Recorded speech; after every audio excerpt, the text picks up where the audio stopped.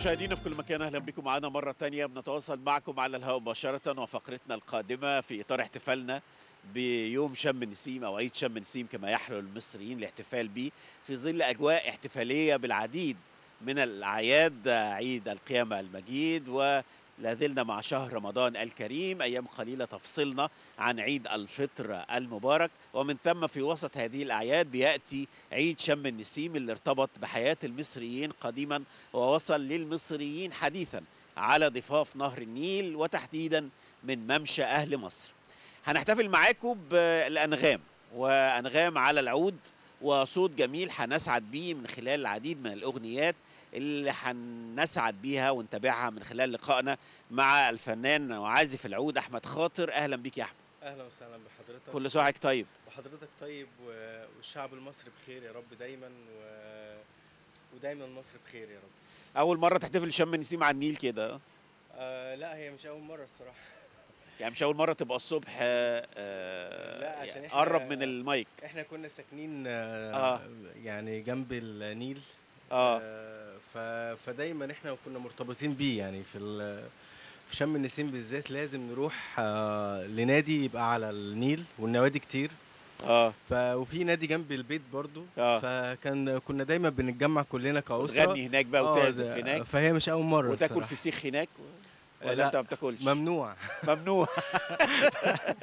ممنوع. بيبقى ممنوع في النوادي يعني. آه. طيب عم ما بتاكلش فسيخ يعني بيأثر على الصوت مثلا ولا؟ لا والله. ولا انت عشان يعني بعيدا بقى انه ممنوع أو مش؟ أنا باكل رنجة كويس قوي رنجة؟ آه. يعني, في كتير قوي بيستعيضوا عن الفسيخ بالرنجة. آه أنا بحب الرنجة الصراحه لكن آه، يعني الفسيخ يعني صعب. آه، بيتي كله بياكل فسيخ. يعني آه. والدتي واخواتي كلهم بيحبوا الفسيخ. أنا ووالدي بنحب الرنجة بس.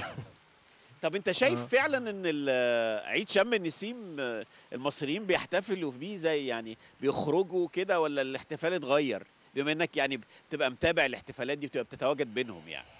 آه، يعني بيبقى انطلاق فعلا وفي يوم كده ليه طبيعة خاصة. آه جدا جدا. هو يوم بالنسبة لنا يعني يوم مميز جدا. و...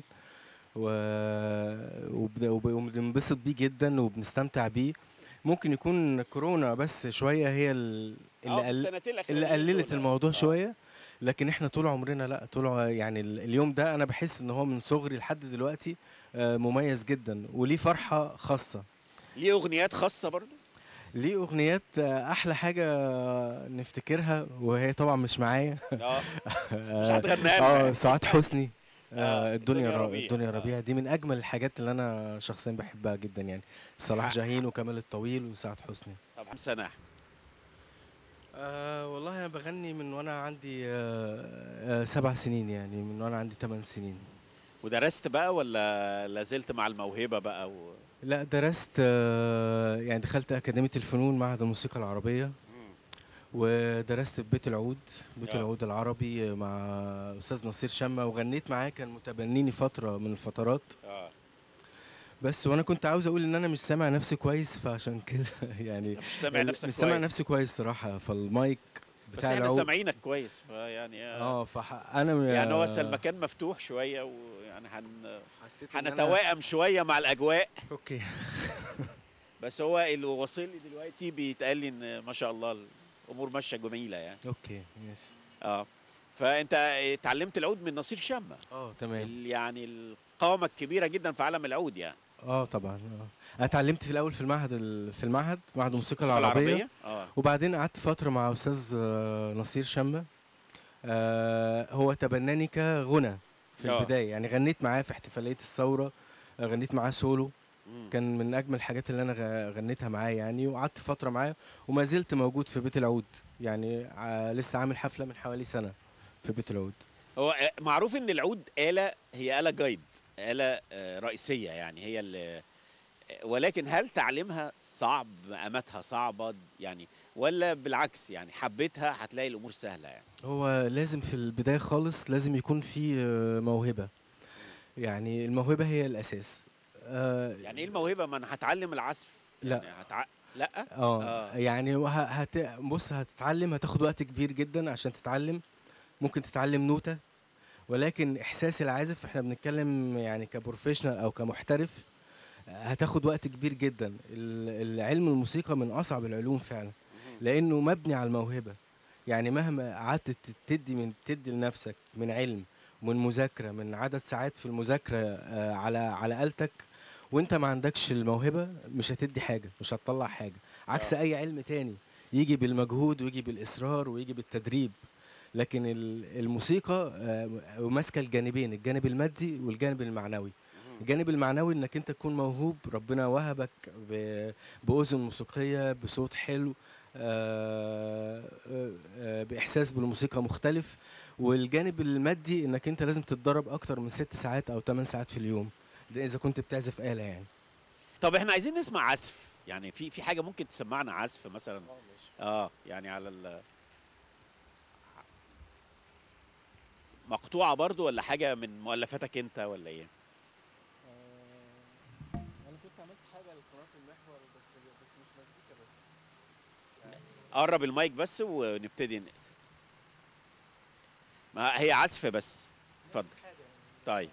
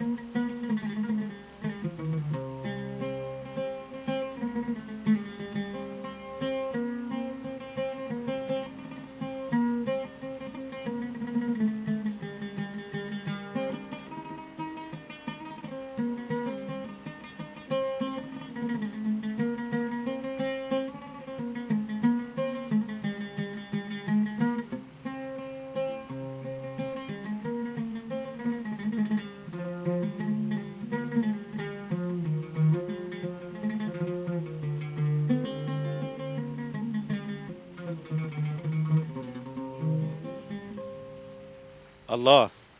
هنقرب المايك بس عشان لما نعرف. نتكلم. آه، ده بقى يعني أنا ده العود ده ده العود ال... ال... ما عليهوش أي تعديلات ده الطبيعي يعني. بس في بعض آه.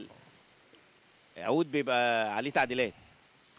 لا هو ده عود آه، يعني شرقي.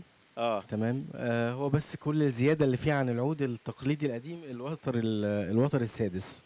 الوتر السادس. هم آه هم المفروض إن هم في الموسيقى العربية خمس أوتار. آه. ففي وتر سادس آه، وفي سابع دلوقتي. آه. آه، ده اللي حديث يعني. بس لكن هو مفيش أي حاجة حديثة تاني غير كده يعني. طب الإضافة دي سببها إيه بقى؟